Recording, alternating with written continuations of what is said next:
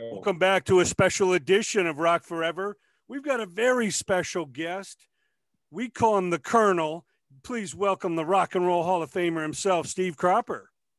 All right, I'm here. Thank you so much for joining us. We're gonna rock forever, aren't we? Oh my gosh, I know you are, man. I saw you out here with Dave Mason a couple years ago. Forever's a long way away, the way I see Yeah, it. yeah, it was it was a lot of fun. But you know, I always I always say no matter what current music you love, you got to know the roots. And when we go back to Stax Records and and look at those those songs and that playing, you know, your influence is still felt every day, you know, in today's music. And it's just like early on, you know, falling in love with like Led Zeppelin. The next best thing is to go find out where their sound came from. You know, Willie Right. Dixon and John Lee Hooker and you know all, all, all- the greats, Muddy Waters. You know, so uh, it's Right. it's a real pleasure, Steve. Now, tell us a little bit. I know you grew up in kind of the farmland out there in Missouri. What were your first impressions? Got, every every summer break, I would get sent back to the farm. By the way, tell, tell us about what was the first music that really moved you. What what got you started? well, the first music that actually moved me uh, was when I moved to Memphis when I was ten years old, and I heard gospel music for the first time. And uh, before that, I heard a variety of music. And when I mentioned one, how much is that doggy in the window? It's not. And hey there, what's behind the green door? I guess those kind of records. But when I heard gospel, that turned me around. I had never heard it before, so it was it was new to me. Yeah. Raised in a church around gospel music, but not that kind of gospel. That's different. Had a different beat to it. And the thing about the days of Stax, we were very serious about what we did, but we always kept it a lot of fun. And we made dance records. We made records that you could dance to and remember the melodies and that sort of thing. yeah, jukeboxes were really big back then, right? You Oh, go to yeah. any any business and they'd have those dance records. You put in your your your nickel or whatever it was, and and all of a sudden the place was alive. It was. We couldn't live without jukeboxes. And I remember breaking uh, Last Night by the Mar-Keys and also Green Onions by Booker T. And uh, I would go with a guy uh, and he would go see the jukebox operators and he'd drop me off at the radio stations and I'd be checking with the guys on the radio, program directors and so forth. Yeah, well, I know uh, Elvis Presley obviously was very moved by gospel music. It, it just Oh, yeah. it just influenced so so much of the music. Now, obviously, as Stax came together, you know, you and Duck Dunn and and, and, and the team are the backing band. You know, with uh, Booker T and MGs. All of a sudden, you have all these incredible, you know, black artists: Otis Redding and Sam and Dave and Carla Thomas, Rufus Thomas. You know, Johnnie Taylor. it, was, it was basically the same energy on everybody. The songs were different, but the energy was the same. Yeah, but but little little did a lot of these people know that you you know you guys are are, are white. Not that it mattered, but um, you know it, It, it didn't was- then. It might matter today, but it didn't then at all. Well, well, you guys was no definitely had you guys had a lot to do with at the each other, Just different, different color. Yeah. we You guys had a lot yeah, to do with the integration. You know. Go ahead. I always say there's only two kinds of music: music that moves you and music that doesn't. Right. Doesn't matter what race or religion or age you are. You judge music by whether you like it or not. The same way with people. If you like them, you like them. If you don't like them, you don't like them. And that's the way it is. It should be that way. Absolutely. Never judge a book by its cover. Well, I, I know to you it it was that it was that Monday through Friday day job. You were clocking in and you were making whatever record was coming up next and whatever singer was was, Well, I kind of cheated the system a little bit. I got a job. I talked Mrs. Axton and give me a job at the record shop so I could be closer to the studio. So one day, the reason I'm uh, reason I was I wound up at Stax is very simple. She went to her brother Jim Stewart and said, "Jim, you're going to start paying Steve. He's spending more time back in the studio than he is in the record shop." Wow. So Jim started. They made a deal, and Jim started paying me my salary. So well, you know, look, look, looking at the body of work, I know, like I say at the time, you're just knocking out today's work. But when you look back at that body of work, what, what what's your impression today? I don't know if I could do it today. I try. it was a big job, but I didn't think about it in those days. I was having so much fun; it didn't matter. Yeah, it just it just like I say, it just added up. It, you look in hindsight and like, wow, that's a that's a pretty good catalog. But at the time, you were just having fun for the day. Now, yeah, I'm rattling my brain over a picture I saw this morning of uh, the early MGs playing when Charlie Chalmers, we had a tenor player and a, and Louis Steinberg was playing bass and we were some prom somewhere. I don't remember the gig, but uh, the picture they said it was it came out in 65 and I'm going Duck Dunn was already with us in 65 so I don't I don't know what was going on there. And I think that I, I hope that the dates are a little bit off and I hope I'm right and they're wrong so it would better. Yeah well so so many classics you know knock on wood midnight hour sitting on yeah we, just lucky just like I said we, we had a lot of hits but we were making dance music and we didn't think about who wrote this or who wrote that. It was we treat them all the same. It didn't matter. We didn't pay any more attention to something that Eddie Floyd and I might write or Otis and I might write than than something that Carla might write or somebody else. Isaac and David became great writers. And you know, the thing about some of those songs, some of those Sam and Dave things that they wrote, we were still there as co-producers on the records, working the same way we always did. It just some of the business part of it changed a little bit, and that's about it. Well, we can't even count how many covers have been done, you know, of this catalog. I have no idea, and you're right about that. I, I, I, love, I love the Sammy Hagar, Sammy Hagar, who later became the lead singer of Van Halen. He actually did "Sitting on the Dock of the Bay," and you played on that cover. He did. I saw him recently at a James Burton concert, and uh, when I say recently, I forget what year it was, 2019, I guess. And, and I had not seen Sammy in a long time since I lived in LA. And he and I worked on a song called uh, a movie called A Roadie. And uh, I had to remind him of that. And he said, Yeah, we did, didn't we? I don't think they used it, but anyway. Yeah, some good work on it. Some good, good times, definitely. Now, it, it must have been kind of a, a, a, a door opener again when uh, John Belushi and Dan Aykroyd come calling in the 70s. They, they're hot on Saturday Night Live. And yeah, they, we got a lot, a little bit of flack. Not I say a lot of flack. We probably it was a lot at the time, but it was a little bit of flack about it.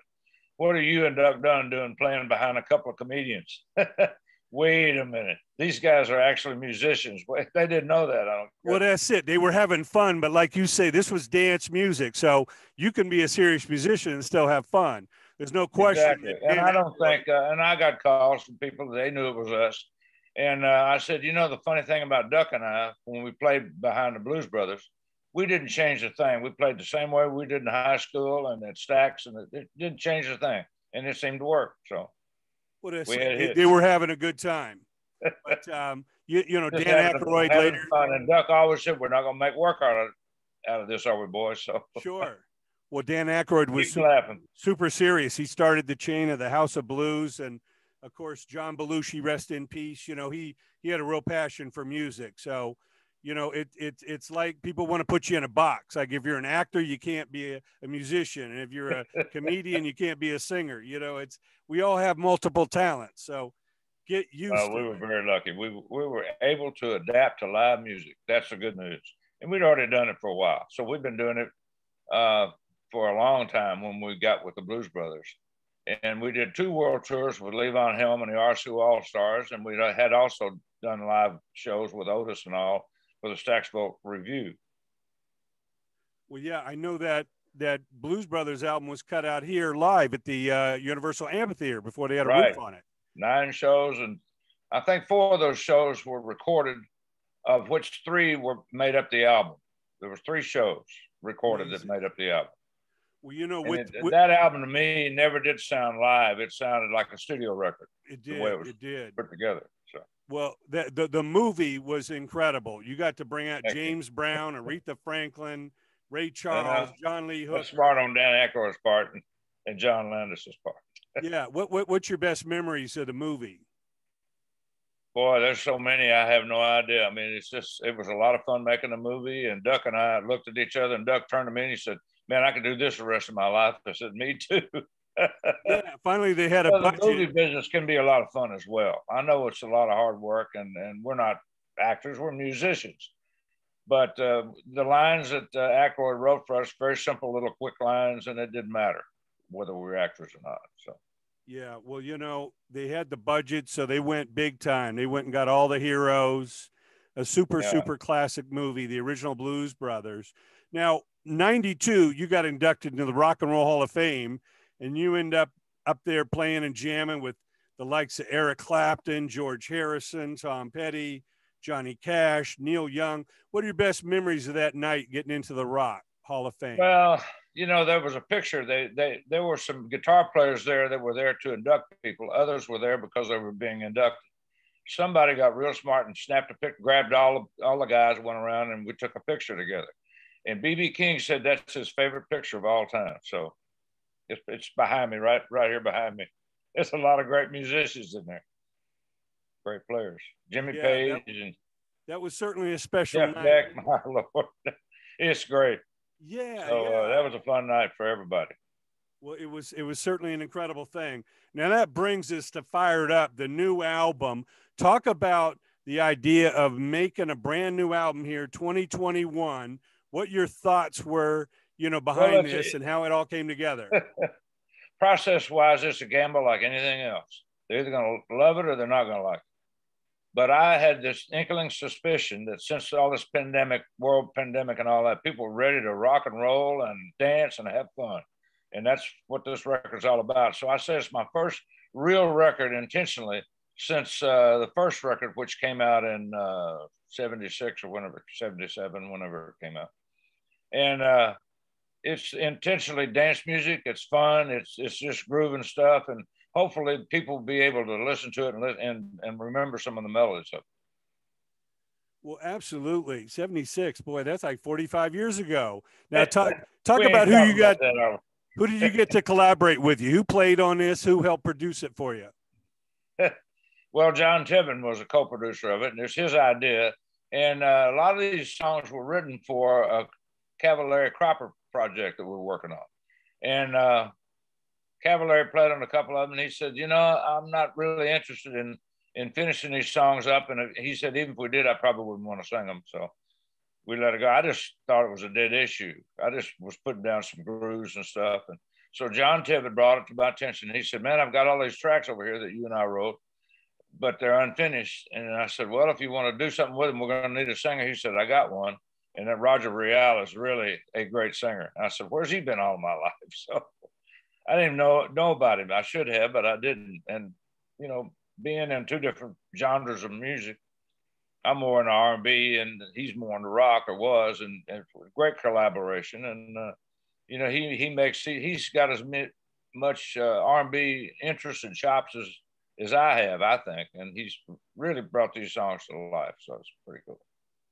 Well, that's always what it's about that creative collaboration, you know, when one plus one can equal three, four, or five. Whatever know? it does. And I love somebody else complimenting me, not because I've written something, because I come up with an idea and I said, Hey, what do you think about this? They go, Yeah. If they don't like it, we go on to the next idea.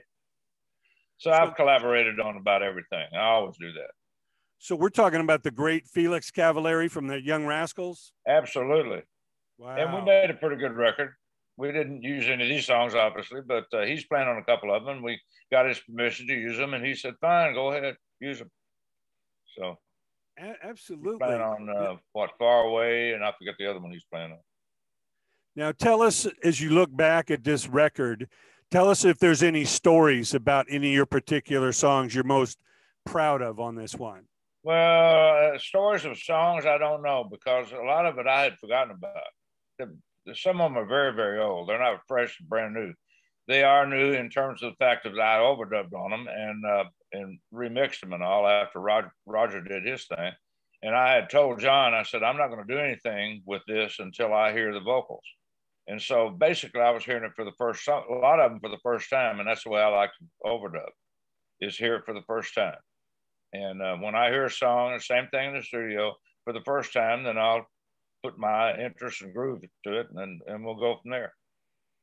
So uh, the stories that I have is the, is remembering how some of them were written with John and I, and a lot of these songs were just done. Most of them were done to a loop that he found or or recorded or whatever. He has a studio in his house, by the way, so he wasn't affected by the lockdown at all. He had, he was right there in his own studio, and I think uh, Beth Hooker sang background on one one of the songs, and all she had to do was walk through the backyard because she's John Tiven's next door neighbor. and I'm about uh, maybe 10 minutes from my house to the RCA studios where mine is, where it was mixed. And I had no problem going down there. I didn't get stopped or anything, so that's fine. Well, the list of the artists you've collaborated with are, are, are truly, absolutely overwhelming. Um, the Rod Stewarts, the Ringo Starrs, the Albert Kings. I mean, the, the list is just monstrous. even John Lennon, I know you played on that rock and roll album. Was that Phil Spector? Did you cut that with Phil? Yeah, we cut that in L.A. at at the A&M Studios with Phil producing. That was a crazy time. and I think they finished the album out. John finished his album up uh, in New York with the New York musicians. Okay. We'll talk a little bit about Rod Stewart because I know you've done a number of records with Rod. Well, uh, to tell you the start of that, my good friend Tom Dowd called me. I was living in LA at the time he said, I'm coming out in about three or four days. He said, I'm producing this new artist, and he's got uh, not a new artist on the market. He asked me if I knew who Rod Stewart was, but it was his first time to produce him. I said, No, I really don't. He said, You remember Faces? I said, Yeah. You talking about Maggie May? He said, Yeah, that's the singer. He said, He's already in LA. He's rented a house in Beverly Hills, and I want you to go over there tomorrow and take him some songs. I said, Okay, I'll do that. And I did that. And then Tom came out and we wound up doing Tonight's the Night. Rod and I wound up writing together and we did, uh, I, mine was too much, uh, the song I presented to Rod was called Too Much Noise. And then he changed the title and some of the words to Stone Cold Sober. Da da da da da da da da. Well, I'm Stone Cold Sober again. Same message, same basic thing about a guy coming off the road and going home. And there's a party going on. There's too much noise. And then his idea was, well, I'm stone cold sober again. I got, I got to stop this, you know, messing around and singing and doing all this stuff. And he's just home for a while. Well, those but records he are can't get any rest. So they're certainly timeless. How, how about working with Ringo Starr? Well, you know, the the one thing I remember, I played on a lot of his records, and uh, you know, he did a cover of Sweet Sixteen, and and I played on. I think I'm credited on the album as playing Step Lightly, but uh, we presented a song that John that George Harrison had written, and uh, none of the guys really liked it very much. And uh, so Richard Perry said, "Well, we'll cut it another time. We'll just throw this off the session." I looked at Nicky Hopkins. I said, "Nicky, let's go ahead and put a groove on this." So every time I see your face, it reminds me of the places we used to go. Big hit for Ringo. Oh, so yeah. we've been friends ever since that time. And I, the last time I saw him was uh, in England at an awards thing. And I, we were sitting at a tin top table, and, and some guy said, Hey, there's a guy behind you raised up. He's trying to get your attention. I turned around, this Ringo. he and Barbara over there. I, I, went over there and uh, said hello. I hadn't seen him in a long time, and, uh, you know, since LA time. So it'd been a while. Yeah, well, the, the, the, Beatles certainly shook up uh, America and the world, boy, when they came out. Uh, the things they have done, and I got to work with every one of them, except Paul and I are the only ones, only Beatle that I've never actually played on a session or worked with him on. And he's always, we and I have always said, you know, we need to do something together, whether it's write a song or get in the studio. We never did do it. Now I've been around him when he was mixing, and uh, I was at uh, Heider doing something. I forget what I was doing at the time. And somebody came over and said, You know, Paul is next door mixing the record he was doing. Listen to what the band. A man says, What a band on the run. I think, Band on the run. So I went over there and, you know, I'd met him before. I'd been to, he always invited me to his parties and whatever. So I knew him pretty well, but we had never worked together. And we didn't work that day either. I was doing something, he was doing something. But uh, that's when he was married to uh, Linda and she was there, and uh, you know that that might be the last time I actually saw Paul. I don't remember. Well, the incredible new album. We want everybody to go out and support. It is fired up. You can go to his website, playitsteve.com. We need more laughing and dancing, I tell you. more excitement and more, you know, everybody's sort of been down in the dumps. And I've been saying before this pandemic, we need more laughter. Nobody was laughing. Everybody's very serious about everything. Well, tell a joke and laugh every now and then. And uh, during this time, when uh, people were doing the selfies, I was doing some lectures. And I said, if you want to be different and be noticed, wear something silly. Wear a silly hat, wear silly clothes, do something crazy. don't just take a photo and say, look how good I look. So anyway, it is.